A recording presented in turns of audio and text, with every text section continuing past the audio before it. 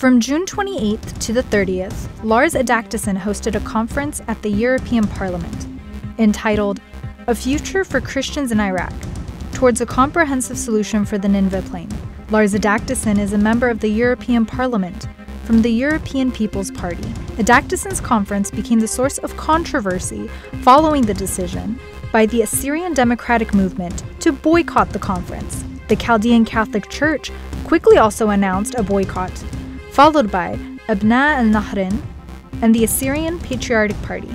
The pre scheduled leadership of the Assyrian Church of the East also then chose not to participate. To understand the controversy, it is necessary to first look at the October 29, 2016 Statement of Support requested by Lars Adaktusson, which a majority of political parties signed. Clause 4 of that statement asserts We underline that the international political and practical support for a viable and sustainable autonomous province in the Nineveh Plain, granted the same power as the governorates, will be of major importance in achieving the implementation of the Iraqi cabinet's decision on 21 January 2014 to create a Nineveh Plain province. Clause 8 says, In the event of the creation of a Nineveh Plain province, we commit ourselves to forming one single self defense force, which will cooperate with the legitimate government of our country. These two clauses in Adaktusson's own document, along with other more general clauses, envision a standalone Nineveh Plain tied directly to the central government. Adaktusson's October 2016 statement became the basis of a political understanding. That understanding was still in place in February 2017 when he announced his intention to hold a conference on the future of the Nineveh Plain at the European Parliament. On March 6, 2017, 10 Assyrian political parties decided to make their policy demands completely clear. They signed a joint statement created by them setting forth in full detail an agreed upon policy framework. The March 6 joint statement provides the policy foundation for an Assyrian agenda with the government of Iraq and the Kurdistan Regional Government. The March 6 joint statement addresses the Iraqi Prime Minister, saying, We ask that you use the constitutional powers vested in your position to recognize the following demands. Using the word demands affirms that the March 6 joint statement sets forth a policy.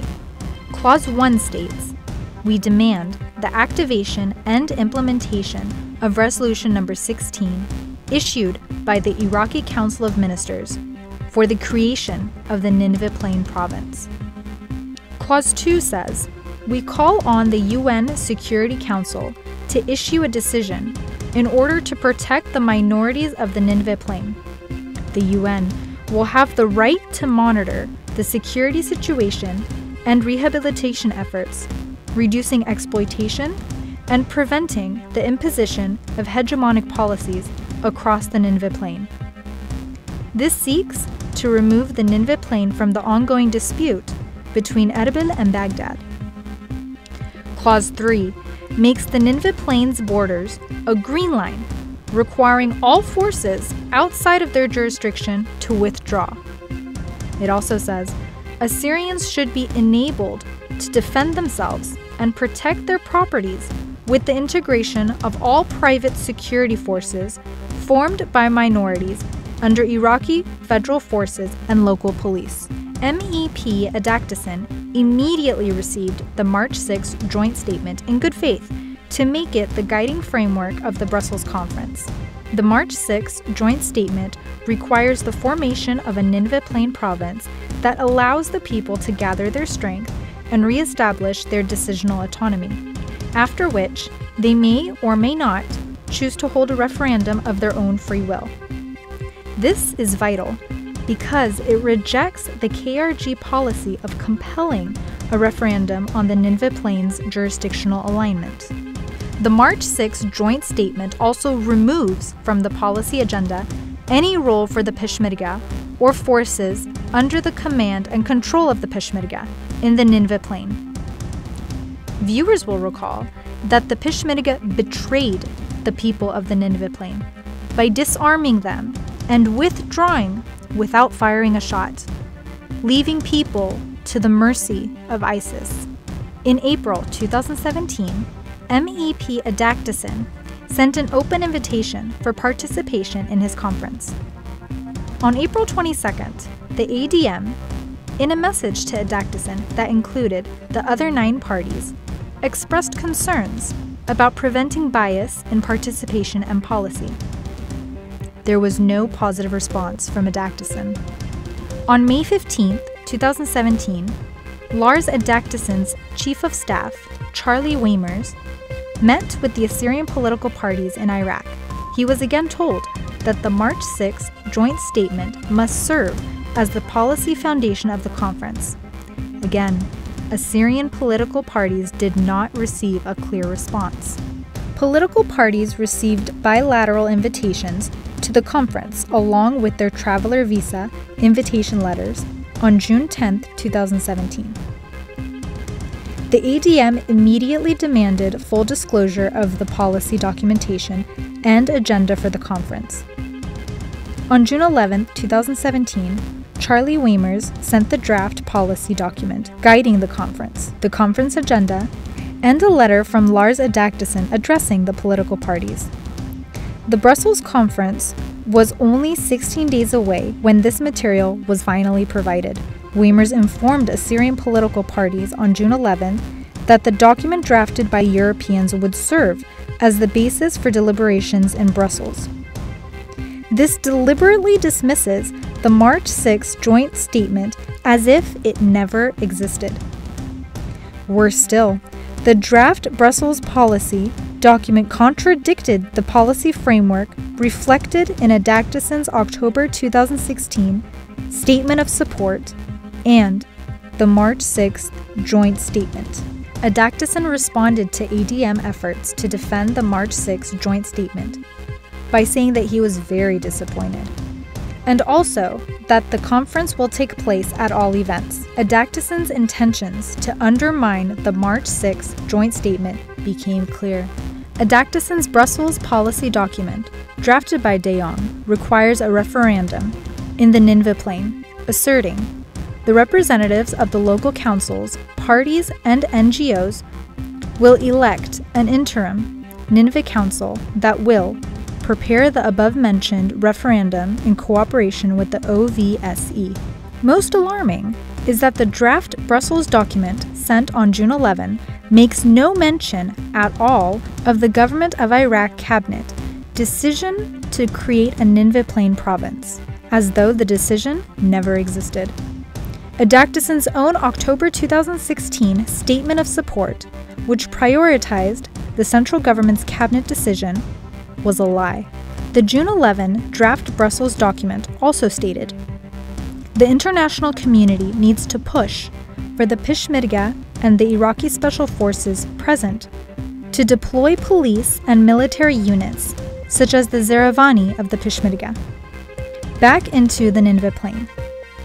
This policy seeks to restore the security status quo that existed when ISIS attacked. This is key KRG policy objective. In a letter to MEP Adaktusson on June 20th, the ADM stated Any decision about what governmental structure the Nineveh Plain falls under are illegitimate until a period of time has passed whereby demographics are restored. The ADM is trying to prevent the reimposition of a referendum in the Nineveh Plain, which the March 6 joint statement took off the agenda. The ADM also stated Security is another matter in the policy document that cannot be accepted in its current form as a starting point for deliberations, which includes the Ministry of Peshmerga Affairs in the section on creating a Nineveh Plain Command. These measures restore the pre ISIS status quo security arrangements. Finally, the ADM repeated the message to MEP Adaktusson that the bulk of core issues on the future of the Nineveh Plain were resolved in the March 6 joint statement. The international conference can demonstrate its commitment to the principle of self determination by respecting the agreed upon framework signed on by a variety of political parties as the starting point for policy development at the conference. Adaktusson's chief of staff, Charlie Weimers, responded to the ADM on June 21st, saying, We cannot implement these changes unilaterally without proper consultation with the nine other parties. This response, that Adaktusson expected Assyrians to forget the March 6 joint statement and come to Brussels to restore Kurdish nationalist policy objectives to the Assyrian political agenda. Three political parties then publicly announced their boycott. On June 26th, the draft Brussels policy document was leaked. Adaktusson's betrayal of the March 6 joint statement was made public. At that point, Nuri Kino, founder and global leader of a demand for action, began publicly defending Adaktusson and the conference.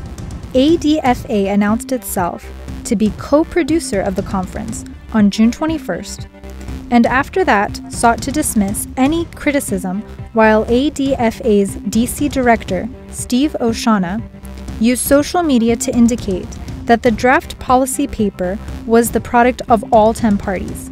It is unclear if Oshana deliberately intended to mislead Assyrians. June 29, 2017, ADFA announced the release of a new policy document. Upon close study, the revised Brussels policy document reflects a more sophisticated effort to kill the policy agenda at the heart of the March 6 joint statement. June 29 Brussels policy document opens with the words Further to the unified work paper signed by the Chaldean Syriac political parties on March 6th and 7th, 2017. This reduces the March 6 joint statement to the status of a work paper, despite the undeniable fact that it lists a comprehensive set of demands agreed upon by the 10 political parties made to the leaders of Baghdad and Erbil.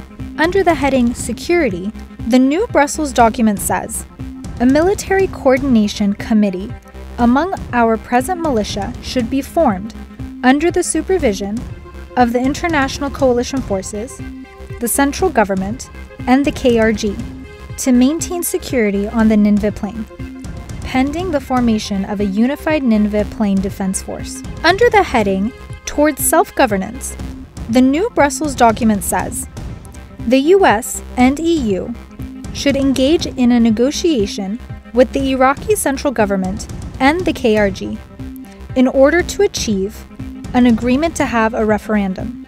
The real results of the Brussels conference, pushed forward by MEP Adaktusson, with the support of ADFA, Sallux, and the Dawronoye, is to 1 undermine the March 6 joint statement, 2. Legitimize a Peshmerga security presence in the Nineveh Plain, 3. Bless the KRG plan of forcing a referendum in the Nineveh Plain. This policy only serves the KRG's agenda. MEP Adaktusson lied to Assyrians with his October 2016 statement of support.